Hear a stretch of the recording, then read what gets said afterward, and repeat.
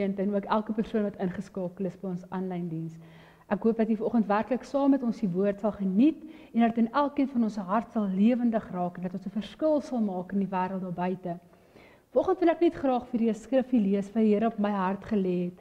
En dit is in Jesaja 61 vanaf vers 1 tot 3 en dit sê: Die gees van die Here Here is op my, omdat die Here my gesalf het om 'n blye boodskap te bring aan die ootmoediges. Hy het my gestuur om te verbind die gebrokenes van hart, om vir die gevangenes 'n vrylating uit te roep en vir die geboeidenes opening van gevangenes. Om uit te roep 'n jaar van die welbehae van die Here, 'n dag van die wraak van ons God, om al die treurendes te troos, om vir die treurendes in Sion te beskik dat aan hulle gegee word sieraad vir as, vreugdeolie vir treurigheid, 'n gewaad van lof vir 'n verslae gees, sodat hulle genoem kan word terebinte van geregtigheid, 'n planting van die Here tot sy verheerliking. Ek wil vandag vir julle sê die gees van die Here rus nie net op my nie, dit rus nie net op ons pastore nie, maar die gees van die Here rus op elkeen van ons. En ja, ek weet daar is COVID nou op hierdie stadium, daar is onluste. Maar mag ek en nie uitgaan en mag ons gaan opstaan met die salwing van die Gees wat op ons rus en mag ons die goeie nuus gaan bring aan 'n gebroke wêreld. Mag jy geseënd wees in hierdie week. Daar's 'n gemeente familie, dit is so lekker om weer met jou te kan kuier. Ehm um, die Here is so goed en ons is dankbaar. Ons is nou weer gesond. Uh, Almal, die hele gesin is gesond en dankie vir elkeen van julle se gebede in hierdie tyd. Uh die Here is regtig goed vir ons en ons hou aan bid vir almal wat COVID het. Ons hou aan uh, saam bid. Vandag is ook die nasionale gebedsdag wat baie kerke en ek wil saam met jou nou sommer net intree in gebed voordat ons gaan in, in kom by die woord. Uh, wil ek sommer net saam met jou bid en ons gaan saam bid vir ons land Suid-Afrika, maar ook vir elke COVID pasiënt en elkeen wat daardeur geraak word. En ek nooi jou om nou saam met my te bid. Here, ons sê vir U so dankie dat ons hierdie vrymoedigheid het om vandag voor U troonkamer sit. Reg oor Suid-Afrika bid ons al 'n geruime tyd, maar vandag wil ons saam staan in gebed vir ons land Suid-Afrika. Vader, ons bid dat daar 'n herstel sal kom. Vader, dat U hierdie sal ook gebruik om 'n nuwe uh, invloed en 'n nuwe krag van samewerking weer daar te stel. Dat mense saam sal werk vir een doel en dis om vorentoe te gaan, Here Jesus. Word U ook hierdeur verheerlik, Here Jesus. Dankie Vader dat ons dit kan sien op soveel plekke waar gemeenskappe net bymekaar kom en ons kom en ons bid en teen elke uh, vyand, uh, elke uh, aanslag teenoor mense en besighede en ons staan vas op die woord dat ons wat wat ons leer dat in U en met U en saam met U is ons meer as oorwinnaars. En ons bid vir ons land. Vader, ons kom bid ook vir elke persoon, vir elke familie wat deur COVID geraak word. Vader, ons bid vir ons eie gemeentelede, ons bid vir Judith en en so ook vir elke ander persoon wat op hierdie stadium ongesteld is en en ongesond is, Vader. En ek bid Here Jesus met hierdie wete dat deur u wonde is ons genees. En is dit ons verklaring vandag oor elke persoon wat daardeur aangeraak word, o Vader, ons weet by u is niks onmoontlik nie en het ons daardie vrymoedigheid om vir u te vra, raak elke persoon aan en dat elke persoon genees en volkome sal herstel in Jesus naam. Amen en amen. Amen. Ons wil jou ook sommer uitnooi. Sou jy graag vir ons 'n gebedsversoek wil stuur, is jy baie welkom om dan dan ook so te doen en dan vir ons aan te stuur op al ons persoonlike nommers en jy kan gerus met ons in so 'n kontak dan ook kom. Nou ja, ek wil kom by die woord vanoggend en uh uh my tema is lig jou. Lig jou. En uh dis presies waaroor ons nou sommer net gaan gesels. Nou Nou ek is nie baie lief vir die winter nie, maar maar ek besef daar moet seisoene wees en dan moet 'n winterseisoen wees en so meer, maar ek hou nie van die winterseisoen nie. Ek dink een van die groot redes is is dat in die oggende is dit so bietjie baie moeiliker om op te staan. om op te staan in die oggende. Dit is dis net nie lekker nie. En ek dink nie dit is so seer die koue wat dit veroorsaak nie. Ja, dit dra by toe dit maar as wanneer daai wekker afgaan en jy sien dit is nog donker en nou moet jy jouself uit die bed uitlig. En dis nie altyd so maklik nie. Dis eintlik eintlik dis wanneer dit moeilik is, wanneer dit wanneer dit weer somer word en lente word en dit raak 'n bietjie vroeër lig, dan is mense sommer net weer lus vir die lewe en so meer. En uh uh dit is maar net so dat in die winter is ons so sonneblomme wat nie ons koppies wil lig nie totdat die son opkom nie. En uh dan as die son opkom, dan gaan ons nou aan en dan raak dit weer vroeg donker en dan wil jy nou vroeg in die huis wees en jy kry nie soveel gedoen nie en so meer. En dis tog wat wat vir my van winter eintlik sleg is. In die somer is dit vroeër, maar as dit donker is, wil mens mos nou slaap. 'n Mens se liggaam is eintlik so gekodeer dat wanneer dit begin donker raak en dis hoekom baie mense gaan vroeër slaap ook op winter, uh buiten dat die warm kombers natuurlik nou daarvoor help, maar is dit so dat wanneer dit donker is, wil mens gaan slaap, wil mens gaan lê. En uh is dit ook so dat in die lewe in die geestelike wêreld werk dit eintlik maar presies dieselfde. Wanneer dit val grys rondom 'n ou is en dit lyk of dinge nie wil beter raak nie en dit lyk sommer net of alles donker raak rondom 'n ou, dan voel dit net of jy nie krag het om op te staan nie. Jy voel dit net jy of jy of jy lus het nie, jy het nie daai lewenslus om op te staan en vorentoe te gaan nie. En so is dit hierdie afgelope tyd en hierdie afgelope week ook baie duidelik rondom die donker tye wat ons beleef het in Suid-Afrika. En dis dit dis juis die tyd wat ons moet opstaan. Dis juis wanneer ons moet sterk wees. Dis juis in hierdie tye wanneer ons swak is, wanneer ons eintlik sterk is want ons vertroue en ons uh hele uh vermoëns vertroue is gerig op God. Dis wat Paulus skryf wanneer hy skryf in in 2 Korintiërs 12 vers 10 en ek lees vir hy sê daarom het ek 'n beha in swakhede in mishandelinge in node en vervolging en benoudhede om Christus wil. Want as ek swak is is ek sterk Hy kon dit sê want dit is juis in hierdie voorafgaande gedeelte wat Paulus praat van van sy donker tye, van sy tye waar hy beleef, waar hy swakhede beleef, waar hy 'n winterseisoen beleef, waar hy 'n doring in sy vlees beleef. Dat hy dan sê wat hy sê in vers 9 of vers 9 net voorafgaan van vers 10 waar God vir hom sê my genade is vir jou genoeg want my krag word in swakheid volbring baie liewer Nou is Paulus in die weer. Baie liewer sal ek dis in my swakhede roem sodat die krag van Christus in my kan woon. Dit is wanneer jy by 'n plek kom waar daar 'n besef is dat in him we live and move and have our being. Dis by 'n plek waar jy uh, uh, by 'n besef kom dat ek is net tot alles in staat deur Christus wat vir my die krag gee. Dis by 'n plek waar jy besef kan uh, kon uh, kan kom, ja maar ek kan nie, maar omdat hy in my is, daarom kan ek want hy het al reeds dit oorwin. Ja. Soos ek gesê het, die afgelope tyd in Suid-Afrika het ons soveel dinge, soveel en, en ek dink in die wêreld beleef ons ons donker tye en moeilike tye en dis mense wat deur siekte en die dood gekonfronteer word die afgelope tyd. Mense wat gekonfronteer word van hulle geliefdes wat in ICU is en daai angstigheid en en wonder gaan 'n môre daar wees? En dis baie keer asof hierdie hoop so wipplankery dan sit beter dan sit slegter en so gaan dit op en af en en dis 'n aanval op ons ekonomie gewees met hierdie plundertogte in KwaZulu-Natal en Gauteng en en en ek dink net al daardie mense wat daar daar moes deur gegaan het. Donker, wil nie opstaan nie. Hoe staan jy op as daar dan nie lig is aan die einde van hierdie tonnel is nie? En ek wil vanoggend juis met jou daaroor gesels. Vanoggend wil ek juis Jesaja 60 gebruik om met jou daar rondom te kuier en jy's welkom om jou woord te vat. Ek gaan sommer baie skrifte as jy aantekeninge maak, vat sommer al hierdie skrifte neer, gaan sommer reg deur die week sommer deur hulle en jy sien hierdie rykdom wat God vir ons gelos het in hierdie skrifgedeeltes.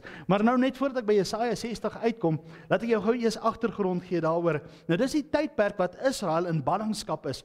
So hulle is weg eh, in ballingskap en Jesaja kom profeteer dan ook dat hulle weer sal terugkom en so meer en en en hulle is op 'n donker tydperk in hulle lewe. Hulle is nie eens by hulle huis nie. Hulle kinders is reg oor heen en weer verstrooi. Hy hulle weet dalk nie eens waar hulle kinders is nie. En is 'n donker, donker tyd. Dis hulle winterseisoen. Alles rondom hulle is vaal grys, as ek dit dan so kan uitdruk. En dit is dis donker en dis moeilik om op te staan. Moeilik om hulle self op te lig en sê maar ons moet vorentoe gaan. En en dis juis in hierdie Jesaja 60 van hierdie belofte.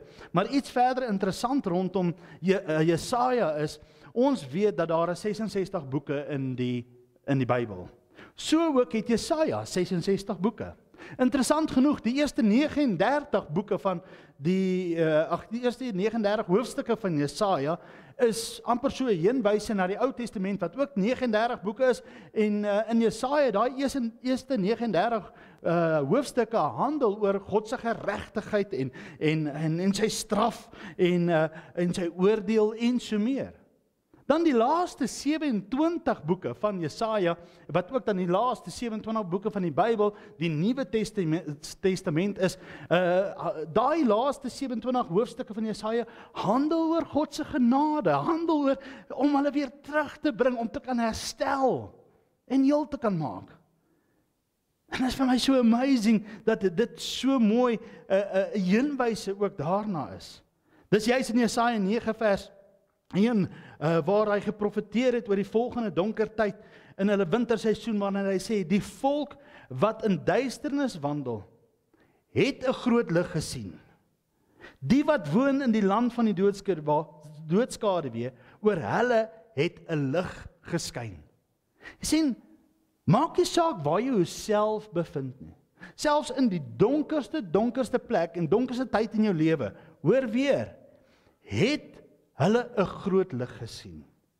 En dan gaan hy verder, oor hulle het 'n lig geskyn. Dis God se belofte aan jou en my. Dat sy lig oor jou sal skyn, selfs in die donkerste tye. Jesaja 42 vers 16 sê die volgende: Ek laat die donkerte voor julle in lig verander. Ek verander die pad wat vol slaggate is in 'n gladde pad. Ken ons maar nie die slaggate in die lewe nie. Maar hy sê ek verander dit in 'n gladde pad. Ek gaan dit doen. Ek sal julle nie in die steek laat nie. Is dit nie 'n mooi belofte nie? God handel met jou en my presies dieselfde in vandag se tyd. Dat hy wil sy lig oor jou laat skyn. Hy wil kom en hy wil jou paaie, jou slaggate kom maak hy reg. Jy hoef nie te wag vir iemand nie. Hy kom doen dit. Hy maak jou paaie gelyk. En hy sal ons nie in die steek laat nie.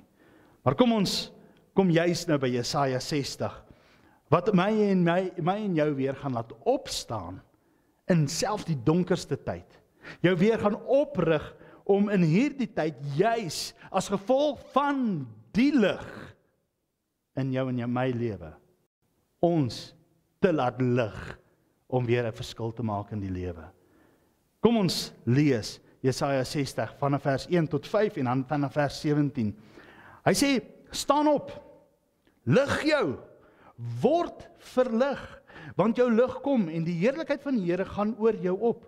Want kyk, die duisternis sal die aarde oordek en donkerheid die volke, maar oor jou sal die Here opgaan. En sy heerlikheid sal oor jou gesien word en nasies sal trek na jou lig en konings na jou stralende opgaan.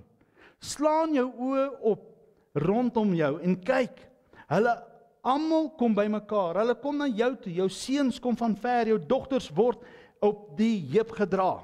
Hy praat hier van herstel Dan gaan hy verder hy sê dan sal jy dit sien en straal van vreugde en jou hart sal ontroer en verruim word want die rykdom van die see gaan na jou toe oor die skatte van die nasies kom na jou jou toe aan. Vers 17 vir koper bring ek goud vir yster bring ek silwer vir hout koper en vir klippe yster en ek sal vrede as jou owerheid aanstel en geregtigheid as jou bestuurders. Van geweld sal in jou land nie meer gehoor word nie. Van geen verwoesting of verbreeking in jou grondgebied nie. Maar jy sal jou mure heil noem en jou poorte lof. Die son sal bedags jou lig nie meer wees nie. En as die glans van die maan vir jou geen skynsel gee nie, maar die Here sal vir jou wees 'n ewige lig. Net net gaan nou verder lees. Hy sê eintlik hier, wanneer dit in die natuurlike nie meer gaan soos wat dit moet gaan nie, dan gaan jy verseker kan staat maak dat hy die lig sal wees. Dat hy die lig sal wees as die son nie eens meer skyn nie of die maan nie maan nie eens meer glans gee nie. Ek sal vir jou 'n uh, wees 'n ewige lig. En jou God sal jou sieraad wees. Jou son sal nie meer ondergaan nie en jou maan nie kleiner word nie, want die Here sal vir jou wees 'n ewige lig. En die dae van jou treurigheid is verby. En jou volk sal almal regverdiges wees. Vir ewig sal hulle die land besit. As lote deur my geplant, 'n werk van my hande tot my verheerliking. Die kleinste sal van sal 'n geslag word en die geringste 'n magtige nasie. Hoor, ek die Here sal jou op die reg, regte tyd gou laat kom. Sjoe, hier is soveel skatte in hierdie in hierdie stukkie van hierdie woord waaraan ek en jy kan vashou. Maar hy begin hierdie skrifgedeelte met staan op. Arise and shine. Arise and shine. Inteendeel, as dit nou my ma was, sou nie sy nie gesê het staan op, sy sou gesê lig jou. Lig jou. En dis presies wat ons moet doen. Juis in hierdie donker tyd is dit ek en jy wat onsself moet oplig om 'n verskil te maak. Hoeveel geleenthede is net nie daar buite nie. Hoeveel geleenthede is nie daar om vir mense by te staan wat deur moeilike tye gaan nie.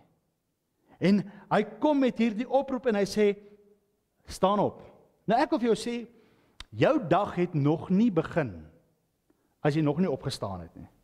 As jy in die bed bly lê, dan jou dag nog nie begin nie. Dit is soos vanoggend maak ek vir Elzaan wakker en en ek sê sy moet opstaan en klaarmaak en so meer. En so die derde keer wat ek daar verby haar kamer staan, ehm um, sy hoor mos nou al die voetstappe nader kom en ek en ek besig om wat sê, jy moet opstaan.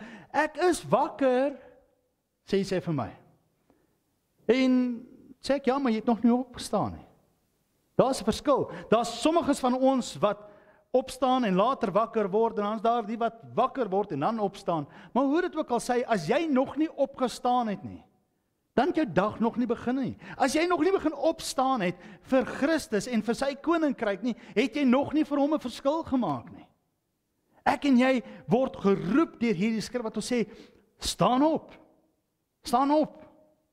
Ja, dit klink asof my ma my toe ek op skool was wakker gemaak het. Twee, drie keer opstaan, opstaan, opstaan totdat sy daar inkom en hy kom aan, staan nou op en ek voel vanoggend amper presies dieselfde. Kerk wanneer ek vir jou kom sê, staan op lig jou en begin 'n verskil maak in die omgewing waar jy is. In die mense se lewe wat daar is rondom jou.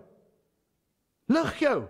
Dan word dit lig. Ek het dit sommer net ervaar in my eie lewe hierdie afgelope tyd toe ek lekker siek was met COVID en so mee. Ehm um, as ek net gebly lê, jy is so moeg, jy wil nie opstaan nie, jy lê net lê net. Maar dan kom my vrou en sê kom kom kom ons moet 'n bietjie buite gaan sit. Dan vat sy vir my en ons gaan sit buitekant. Ek voel sommer of ek gerecharge word in die son. Ek voel sommer of my longe bietjie meer asem kry en en dit was net presies so gewees. Wanneer jy in die lig kom, dan word jy weer verlig en kan jy weer asemhaal om vir God 'n verskil te maak. Is dit nie wat ek en jy moet doen nie?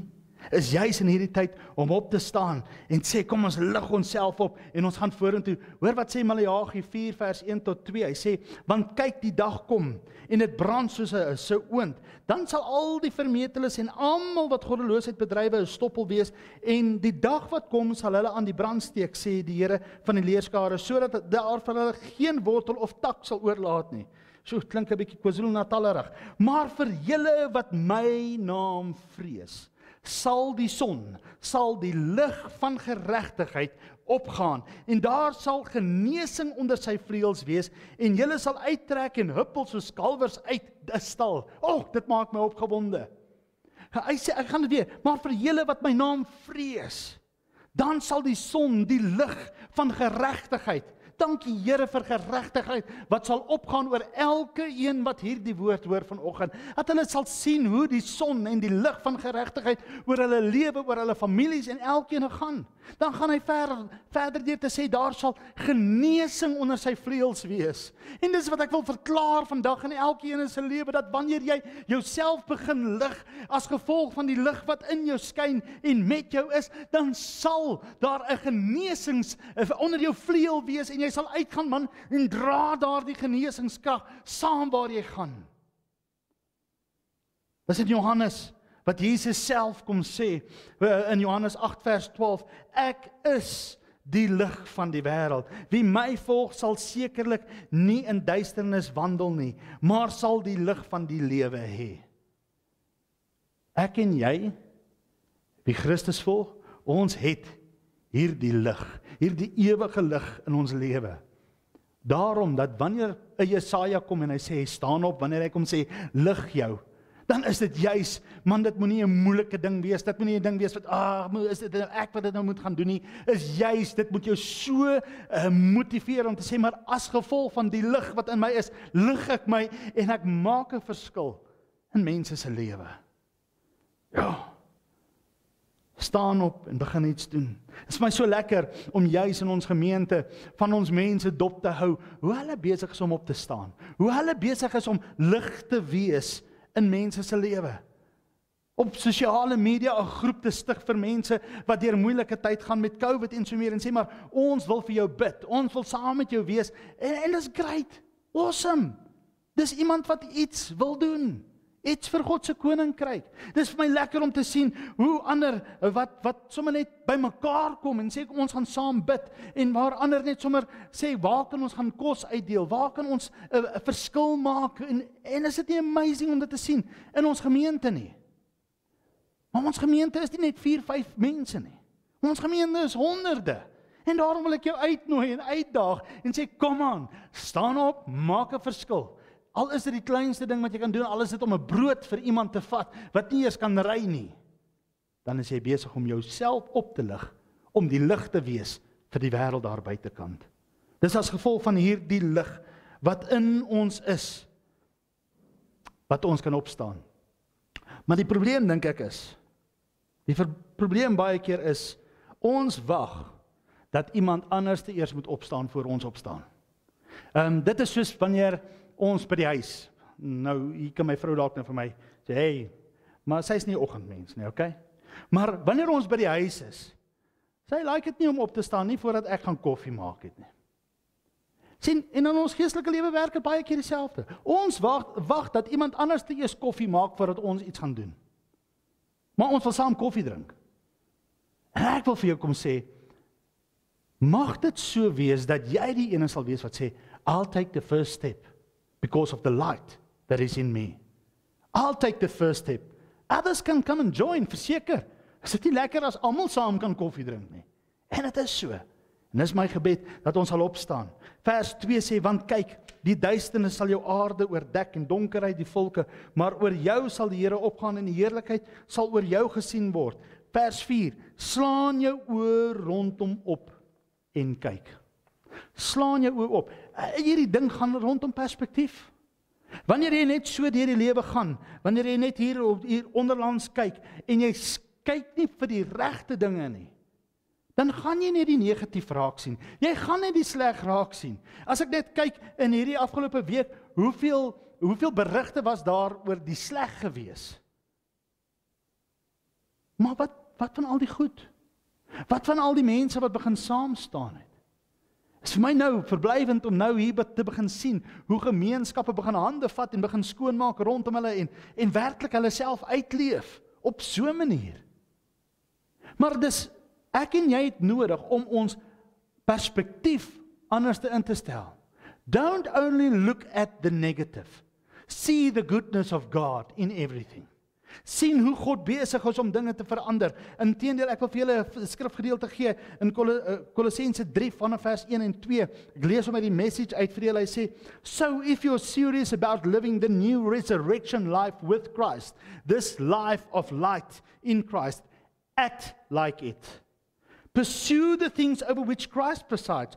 Don't shuffle along eyes to the ground and absorbed with the things right in front of you. Look up and be alert to what's going around on around Christ. That is where the action is. See things from his perspective.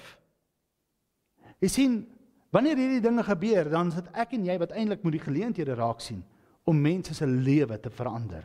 Waar ek en jy geleenthede moet sien om vir mense te bid, 'n geleentheid moet sien om 'n verskil te maak in mense se lewe rondom jou. Die duister sal nie dit oorweldig nie. Soms moet dit donker word sodat jy die lig kan sien. Soms moet dit donker word sodat jy die lig kan sien. O, oh, dis my gebed. Dat in hierdie donker wêreld dat daar meer lig sal wees en dat daardie lig die donker sal verdrywe. Vers 5 sê dan sal jy dit sien. Sê wanneer jy opkyk en jou perspektief verander, hy sê dan sal jy dit sien en straal van vreugde en jou hart sal ontroer en verruim word. Jou hart sal verruim word. Jy sien, jou en my oë is gekoppel aan ons hart. En wanneer ons net uh, af gaan kyk na die negatiewe dinge, dan gaan dit ons hart en ons lewe beïnvloed en ons gaan net negatief raak en alles is net negatief. Maar wanneer jy jou oë oplig en dan sê hy, jy sal die vreugde weer sien en jou hart sal verruim word. Dit is my gebed dat jou en my hart so verruim sal word vir mense wat verlore is en vir mense weer te kan draai, terugdraai na God toe en waar ons soos in Jesaja 55 vers 6 tot 7 vir mense kan sê, soek die Here terwyl hy nog te vind is, roep hom aan terwyl hy naby is. Laat die goddelose sy weg verlaat en die kwaaddoener sy gedagtes en laat hy hom tot die Here bekeer dan sal hy hom barmhartig wees en tot ons God want hy vergeef vir menigvuldiglik. Dis juist wat ek en jy nou moet raak sien. Is om te vir mense sê, maar nou is die tyd wat ons God nodig het. Dis nou die tyd wat ons God soek vir selfs die wat God nie in hulle lewe het nie. O, oh, is my gebed. Daar is soveel wonderwerke. Sal gebeur dat mense rondom ons net God se goedheid en God se guns en God se genade net weer sal raak sien. En dat ek en jy die geleentheid sal hê, onsself sal lig en na hulle na toe stap en vir hulle sê, is nou die tyd om God te soek. Want is hy wat hierdie dinge doen om ons weer deur te dra. Dit is ons roeping. Dit is ons dit is ons roeping om hierdie lig uit te leef. Vers 17. Ag, oh, toe ek dit lees, was dit vir my so amazing. Hy sê verkoper, bring ek goud en vir yster bring ek silwer en vir hout koper en vir klippe yster. Jy sien ons noem dit ehm um, God is in die divine exchange besigheid. 'n Goddelike ruil transaksie. Hy vat dit, hy vat koper en hy bring vir jou goud. Hy vat ehm um, yster en hy bring vir jou silwer. Of as jy klip in jou lewe het, dan bring hy vir jou yster. Dis wat God doen. Hy maak dit vir jou en my soveel beter. Hy vat jou sonde en hy gee vir ons geregtigheid. He takes your brokenness and he will restore you. He um take your um sickness and he'll give you healing. He hy sal jou seer vat en hy bring vir jou weer heling. Uh, hy maak jou weer heel. Hy vat jou alleenheid en hy gee sy teenwoordigheid. Jou tekort, sy voorsiening jou donker sy lig. Jou gaan lê en ek kan nie meer aangaan nie. Kom en hy gee sy krag vir jou en my om weer op te staan. Because the same spirit that raised Jesus from the dead will also give life to your mortal bodies through his spirit who lives in you. Romeine 8 vers 11. Omdat sy gees in jou en my lewe is, Kom maak dit ons lewe weer meer vol en gee ons krag om aan te gaan, om onsself te lig en op te staan en dinge te doen. Vers 17b sê en ek sal vrede, o, oh, as jy owerheid aanstel en geregtigheid as jou bestuurders. Toe ek hierdie lees, toe kom Psalm 91 by my op en ek wil graag vir julle net van vers 5 tot 12 lees. Jy hoef nie te vrees nie vir die skrik van die nag, vir die pyl wat bedags vlieg nie, vir die vir die pes wat in die donker wandel, vir die siekte wat op jou middag verwoes nie. Al val daar 'n 1000 aan jou sy en 10000 aan jou regterhand, na jou sal dit nie aankom nie. Is dit nie vrede nie? Net met jou oë sal jy dit aanskou en die vergelding van die goddelose sien, want U Here, U is my toevlug. Die Allerhoogste het jou beskutting gemaak. Geen onheil sal jou tref en geen plaag naby jou tent kom nie, want Hy sal sy engele aangaande jou bevel gee om jou te bewaar op al jou weë en hulle sal jou op die hande dra sodat jou voet teen geen klip stamp nie. Ag, toe ek hierdie jy het jou voet teen geen klip stamp nie. Is nie dat hulle net die lig sal wees want dis in die donker wanneer jy jou toon die meeste keer stamp. Is nie net dat jy hulle die lig sal wees nie, maar hulle sal jou dra. Ek kan daarvan getuig dat God het ons gedra deur hierdie tyd.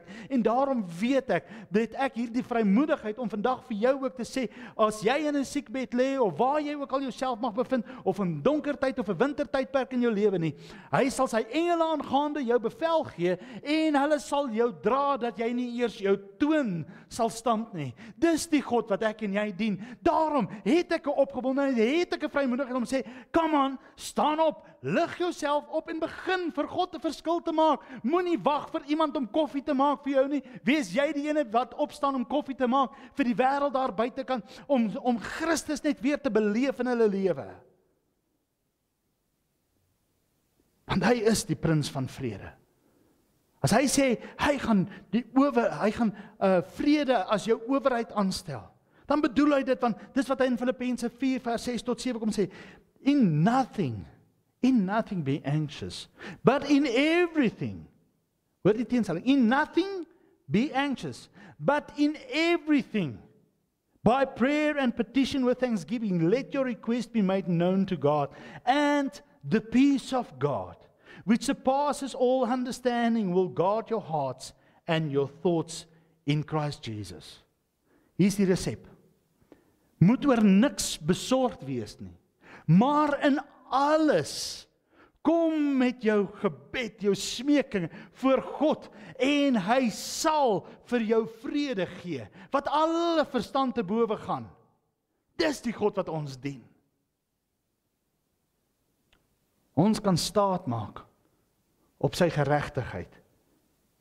En hy sê daar geregtigheid as jou bestuurders. Nou geregtigheid en regverdigheid het dieselfde stam en dis reg ehm um, reg is die stamwoord daarvoor en om reg te staan voor God. Dis geregtigheid. Geregverdig nie deur my en jou werke nie, nie deur dat ek en jy mooi dingetjies kan doen nie, maar ek en jy is geregverdig deur dit wat Jesus Christus aan die kruis vir jou en my gedoen het. Daarom is ons in right standing with him. Hoor gou weer, right standing. You need to stand up. It's not right sitting, not right lying down. It is a place where we need to be in right standing. And I pray that you will stand up and be a difference in the people around your lives. Ons kan staat maak daarop. Vers 19 en hiermee gaan ek afsluit. Jou son sal nie meer ondergaan nie en jou maan nie kleiner word nie want die Here sal wees vir jou 'n ewige lig. En die dae van jou treurigheid is verby. En jou volk sal almal regverdiges weet vir ewig sal hulle in die land besit. As lote deur my geplant in Christus 'n werk van my hande tot my verheerliking. Die kleinste sal 'n geslag word in die geringste 'n magtige nasie. Ek die Here sal dit op die regte tyd gou laat kom. Maar wat ek en jy nou kan doen is is to arise and shine. Is om op te staan. Is om te jouself op te lig. Te sê ek gaan 'n verskil maak. By jou werk, by jou skool, by jou vriende, by jou by jou kollegas, waar jy ook al jouself mag bevind. Staan op. Arise and shine for the light has come. Arise Shine, for the light has come, and the glory of the Lord has risen. The glory of the Lord has come. The glory of the Lord has risen upon you. Staan op kerk. Kom ons wees lig. Kom ons wees hierdie lig. Lig jou op as gevolg van die lig wat in jou en my lewe. Ek wil vanoggend jou uitdaag en uitnooi Ek het vir Karel gevra om vir ons 'n song te sing. En dis 'n ou song van Arise Shine for your light has come. En ek wil jou vanoggend kom uitnooi. Kerk, kom ons staan. As jy in jou sitkamer is of as jy in jou bed lê of waar jy jouself ook al mag bevind. Mag jy vanoggend die ene wees wat 'n profetiese aksie gaan neem en saam met my gaan staan en hierdie song gaan saam sing tot verheerliking van God. Hy gaan hy sê arise shine for your light has come arise shine for your light has come and the glory of the Lord has risen. Dan gaan hy oor. Hy sê with my hands I will praise him. With my voice I will sing. With my feet I will dance before the king. En dan wil ek jou uitnooi om dit vanoggend te doen tot eer en verheerliking van sy naam. Maar kerk, dis nodig dat ons moet opstaan vir wie die lig in jou en my lewe is. Kom ons staan vanoggend met hierdie oortuiging op. En ons doen nie net dit in ons binnekamer nie, maar ons leef dit aan buitekant toe vir mense wat God nodig het. Hulle het God nodig en ek en jy het hierdie lig. Daarom wil ek vir jou vra kom ons lig onsself en ons deel hierdie lig in mense se lewe daar rondom ons. Voordat ons gaan sing, kan ek net saam met jou bid. Vader, ek kom vanoggend en ek loof U naam. Ek gee ek eer en aanbidding want U is 'n groot God. Aan U goedheid is daar geen einde nie. Dat U het U lig op ons kom laat skyn. 'n Ewige lig het U vir ons geword want Christus U is die lig van hierdie wêreld. En wanneer hierdie lig in ons is greater is he that is in me than he that is in the world. En Vader as ons hierdie lig in ons is dan kan ons nie anderste as om onsself op te lig en lig te versprei waar ons gaan. En dis my gebed Vader dat ons as kerk, as gemeente, as as lede van Christus se liggaam lig sal wees na buitekant in hierdie donker tye. We want to stand up. We want to fill the gap and stand in unity for South Africa, for each and every citizen, for each and everyone that is sick, for each and everyone that's going through a difficult time, for each and every relationship or marriage that is going through a difficult time. We want to stand up and be light because the light is in us. And this light will shine from out in en dit sal uitskyn na mense rondom ons. Maar ons het nodig om op te staan, Here. Vader, ons wil opstaan om vir U 'n verskil te maak en ons loof U daarvoor. Amen en amen.